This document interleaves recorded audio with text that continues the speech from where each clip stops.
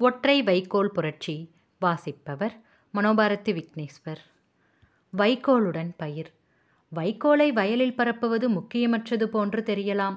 ஆனால் என் பயிர் வளர்ப்பில் அது மிகவும் அடிப்படையானதாகும். இது மண்வளம் முளைவிடுதல் களைகள் குருவிகளை விரட்டுதல் நீர் நிர்வாகம் போன்ற அனைத்துடனும் தொடர்புடையது. கோட்பாட்டிலும் நடைமுறையிலும் வைக்கோலின் பயன்பாடு பயிர் வளர்ப்பில் முக்கியத்துவம் வாய்ந்த ஒன்றாகும். மக்களுக்கு இதன் முக்கியத்துவத்தை புரிய வைப்பது எனக்கு கடினமாகவே இருக்கிறது. வைக்கோலை துண்டாக்காமல் அப்படியே பரப்புவது. ஒகையாமா ஆய்வு மையம் இப்பொழுது தன் ஆய்வு நிலையத்தில் எண்பது சதவீத நேரடி விதை விதைக்கும் முறையில் சோதித்து வருகிறது. அதில் வைக்கோலை துண்டாக்காமல் அப்படியே போடுமாறு நான் ஆலோசனை கூறினேன். உடனே அவர்கள் இது சரியாக இராது என்று கூறிவிட்டு அதை எந்திரங்களின் உதவியுடன் வெட்டி வயலில் போட்டு சோதித்தனர். நான் சில ஆண்டுகளுக்கு முன்பு அங்கு சென்றபோது அங்கு மூன்று வித சோதனைகள் நடந்து கொண்டிருந்தன. ஒரு பகுதியில் வெட்டப்பட்ட வைக்கோலுடனும் மறுபகுதியில் வெட்டப்படாத வைக்கோலுடனும் மூன்றாவதில் வைக்கோலே இல்லாமலும் பரிசோதித்துக் கொண்டிருந்தனர். இதைத்தான் நான் நீண்ட காலத்திற்கு முன்பே சோதித்து துண்டாக்கப்படாத வைக்கோலே சிறந்தது என்ற முடிவுக்கு வந்துள்ளேன். யாசுகி வேளாண்மை உயர்நிலைப் பள்ளியைச் சேர்ந்த ஆசிரியர் ஃபியூஜி நேரடி விதைப்பு முறை வேளாண்மையை சோதித்து பார்க்க விரும்பி என் பண்ணைக்கு வந்திருந்தார். நான் அவரிடம் வைக்கோலை துண்டாக்காமல் அப்படியே வயலில் போடுமாறு ஆலோசனை கூறினேன். அவர் அடுத்த ஆண்டு வந்து அம்முறை தோல்வியில் முடிந்துவிட்டதாக கூறினார். அவர் என்ன செய்தார் என்று கவனமாக கேட்டேன். வைக்கோலை மிக ஒழுங்காக அழகாக அடுக்கி வயல் மீது பரப்பியிருக்கிறார். அப்படி நீங்கள் செய்தால் விதைகள் முளைவிடவே விடாது. கீழே விதைக்கப்பட்டிருக்கும் விதைகள் இந்த அடுக்குகளை மீறி வெளிவர சிரமப்படும். வைக்கோல் அங்கும் இங்கும். இயற்கையாய் விழுந்தால் எப்படி இருக்குமோ அப்படி தூவினால் சிறந்த பயன் கிடைக்கும். நெற்பயிரின் வைக்கோல் மாரிக்கால பயிருக்கும். மாரிக்கால பயிரின் வைக்கோல் நெல்லுக்கும் நன்றாக பொருந்தி வருகின்றன. இதை நீங்கள் சரியாக பிரிந்து கொள்ள வேண்டும். நெல்லின் வைக்கோலை நெற்பயிருக்கே போட்டால் அதில் இருக்கக்கூடிய நோய் பரப்பக்கூடிய கிருமிகள் பாதிப்பை ஏற்படுத்தக்கூடும். ஆனால் நெற்பயிரின் இந்நோய்கள் மாரிக்கால பயிரை தாக்குவதில்லை. நெற்பயிரின் வைக்கோல் மழையின் போது போடப்பட்டால் அடுத்த வசந்த காலத்திற்குள் நன்றாக மக்கிவிடும். புதிய நெல்லின் வைக்கோல் இதர பயிர்களுக்கு சிறந்தது. பொதுவான விதி என்னவென்றால் போரடிக்கப்பட்ட பின்னர் மிஞ்சும் வைக்கோல் உமி போன்றவை ஒவ்வொரு அறுவடைக்கு பின்னரும் வயலுக்கே திரும்பிவிட வேண்டும் என்பதுதான். வைக்கோல் பூமியை வளப்படுத்துகிறது. பரப்பப்படும் வைக்கோல் மண்ணமைப்பை ஒழுங்குபடுத்தி பூமியின் வளத்தை அதிகரிக்கிறது. அதனால் வேதியியல் உரங்களுக்கு இங்கு வேலையில்லை. ஆனால் இது உளப்படாமல் இருப்பதோடு தொடர்புடையது. ஜப்பானிலேயே என் வயல் ஒன்றுதான். கடந்த இருபது ஆண்டுகளுக்கும் மேலாக உளப்படாமல் இருந்து வருகிறது. ஆனாலும் ஒவ்வொரு ஆண்டும் இதன் வளம் அதிகரித்து வருகிறது. இப்பொழுது என் நிலத்தின் மேற்பகுதி மண் நாலு அங்குலம் அதிகமாக மக்கிய வளமான மண்ணுடன் இருக்கும் என்பது என் கணக்கு.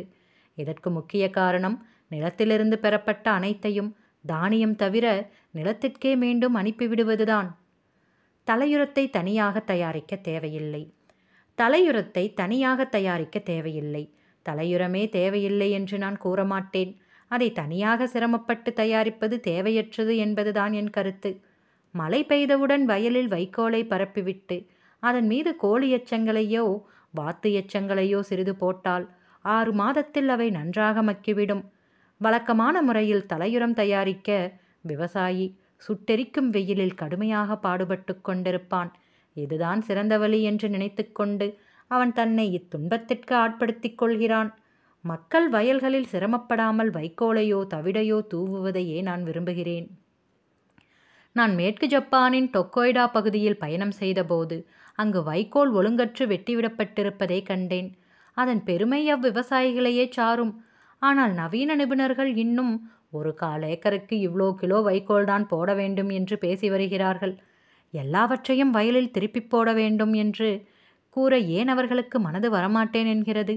பல இடங்களில் விவசாயிகள் பாதி வைக்கோலை வயலில் போட்டு மீதி மழையிலும் வெயிலிலும் நாசமடைய விட்டிருப்பதை நீங்கள் காணலாம். ஜப்பானில் உள்ள அனைத்து விவசாயிகளும் தங்கள் வயலிலிருந்து கிடைக்கும் வைக்கோலை மீண்டும் அதிலேயே போட்டால் எவ்வளவு தலையுறும் பூமிக்கே தீம் மீண்டும் திரும்பும். முளைவிடுதல். பல நூறு ஆண்டுகளாக விவசாயிகள் சிறந்த வலிமையான விதைகள் முளைவிடுவதற்காக அதிக கவனத்தோடு நாற்றங்கால் தயார் செய்து வந்துள்ளனர். குடும்பத்தின் பூசையரை போலவே கவனமாக சுத்தம் செய்யப்படும் அந்நிலம் உளப்பட்டு சாம்பல் மணல் போன்றவை கலக்கப்பட்டு தயார் செய்யப்படும் நாற்று நன்றாக வரவேண்டும் என்று பிரார்த்தனைகளும் நடத்தப்படும். அதனால் நான் என்னுடைய வயலில் மாரிக்கால பயிர்கள் அறுவடை செய்யப்படுவதற்கு முன்பு களைகளும் மக்கிக் கொண்டிருக்கும் வைக்கோலும் கீழே கிடக்க நெல்லை அதன் மீது தூவி விதைத்தபோது பக்கத்திலுள்ள விவசாயிகள் எனக்கு பைத்தியம் பிடித்து விட்டது என்று நினைத்ததில் வியப்பில்லை. நன்றாக தயார் செய்யப்பட்ட வயலில் நேரடியாக விதைக்கப்படும் விதைகள் எளிதாக முளைவிடுகின்றன. ஆனால் மழை பெய்து நிலம் சகதியாக இடும்போது நீங்கள் உள்ளிறங்கி வேலை செய்ய முடியாததால் விதை தூவுதல் தள்ளி வைக்கப்பட வேண்டியிருக்கும். மேலும் நேரடி விதைப்பில் ஏற்படும் மற்றொரு தொல்லை எலி சுவர்கோழி ஒரு வகை நத்தை போன்றவை விதைகளை தின்று விடுவதாகும் இதை தடுக்க எனது களிமண் உருண்டை முறை பயன்படும். மாரிக்கால பயிர் விதைப்பில் வழக்கமான முறை விதைத்துவிட்டு அதில் மண்ணை போட்டு மூடிவிடுவதாகும். விதைகள் ஆழமாகப் போய்விட்டால் அவை அழுகிவிடும். நான் விதைகளை சிறுகுழிக்குள் போட்டும் நீண்ட குழி பறித்து அதில் போட்டு மூடியும் ஆய்வு செய்து பார்த்தேன். இருமுறைகளிலுமே தோல்விதான் ஏற்பட்டது. அண்மையில் நான் மேலும் சோம்பேறியாகிவிட்டதால் குழிகளுக்கு பதிலாக இவற்றிற்கும் களிமண் உருண்டைகளையே பயன்படுத்துகிறேன். முளைவிடுதல் மேல்மட்டத்தில் ஆக்சிஜன் அதிகமாக இருப்பதால் சிறந்ததாக இருக்கும். களிமண் உருண்டைகள் வைக்கோலால் மூடப்பட்டிருக்கும் போது விதைகள் நன்றாக முளைவிடும். அதிகமாக மழை பெய்தால் கூட அவை அழுகி விடுவதில்லை களைகளுக்கும் குருவிகளுக்கும் எதிராக வைக்கோல் பயன்படுகிறது.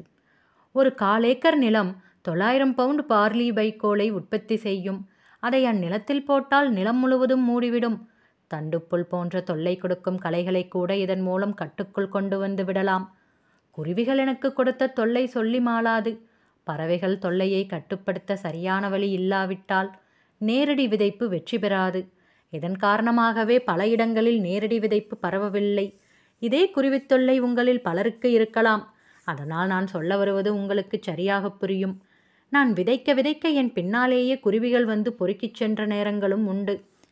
சோளக்கொள்ளை பொம்மை வலைகள் ஒலி எழுப்பும் டப்பாக்கள் போன்ற பலவற்றையும் சோதனை செய்து பார்த்து ஒன்றும் பலிக்கவில்லை அப்படியே இம்முறைகளில் ஏதாவது ஒன்று பலனளித்தாலும் ஓரிரு ஆண்டுகளுக்கு மேல் தொடர முடியவில்லை.